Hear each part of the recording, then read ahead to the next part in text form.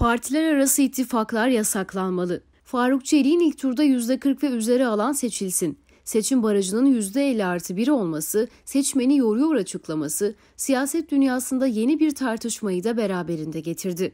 Cumhurbaşkanı Erdoğan'ın bu konuda yaptığı açıklama ise bence kafaları daha çok karıştırdı. Cumhurbaşkanı önce anayasa değişikliği gerektiriyor. Biz sadece iktidar olarak kendimiz ön hazırlık yaparız ve buraya getirebiliriz. Bunun için de tabii iktidarıyla muhalefetiyle el ele vererek ondan sonra böyle bir şeyi gerçekleştirebilirsek olabilir diyerek sanki teklife sıcak bakıyormuş gibi konuştu. Ama aynı cümlenin devamında bir yıl önce millete götürdüğümüz ve milletin onay verdiği yeni yönetim sistemini tekrar gündeme getirmek asıl milleti o yarar diyerek teklife karşı olduğunu ima eder gibi oldu. Faruk Çelik'in yaptığı ilk gün bu açıklamalar AK Parti'ye zarardan başka bir şey getirmiyor düşüncesindeydim. Bu düşüncemde haklı çıkmam fazla sürmedi.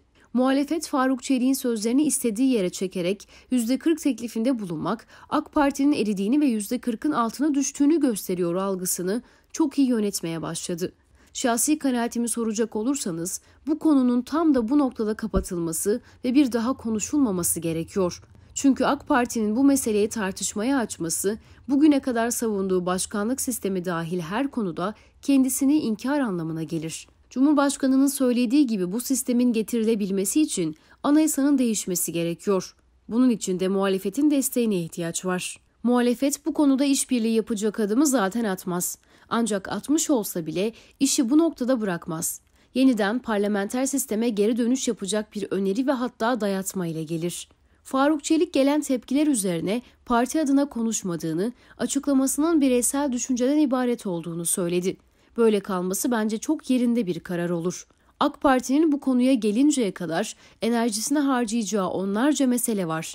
EYT meselesi, KHK meselesi, 3600 ek gösterge ve toplumun tüm katmanlarının şu an etkilendiği ekonomik krizi aşma meselelerine yoğunlaşmak gerekiyor. Ve tabii ki Cumhurbaşkanlığı hükümet sistemi konusunda eksik kalan siyasi partiler kanunu, seçim kanunu, dar bölge veya daraltılmış bölge uygulaması, barajın düşürülmesi ve yasama, yürütme ve yargı konusundaki uygulamaları yürürlüğe koyması gerekiyor. Bu sorunlar çözülmeden atılacak tüm adımlar AK Parti'ye kar değil zarar olarak döner. Hatta eğer imkanı varsa yeni sistemde ittifakların yasaklanması meselesinin de gündeme getirilmesi gerekiyor. Sizi şaşırtabilir ama ben bu meseleyi ciddi bir sorun olarak görüyorum. Nasıl bir sorun diye soracak olursanız, ittifaklar partileri etik değerlerinden uzaklaştırıyor ve siyaset yapmalarını engelliyor.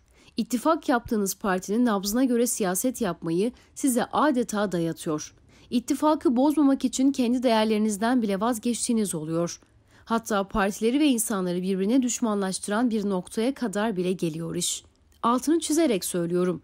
Mesele MHP, İyi Parti, HDP veya CHP değil. Hangi partiyle ittifak yaparsanız yapın ortaya çıkan bir sıkıntı oluyor ve o sıkıntıyı aşmak çok zorlaşıyor. İşte bakınız İyi Parti ile CHP'nin arası HDP yüzünden açılacak duruma geldi. Bence her parti kendi adayıyla, adaylarıyla seçime girmeli ve halk ne diyorsa ona razı olmalı.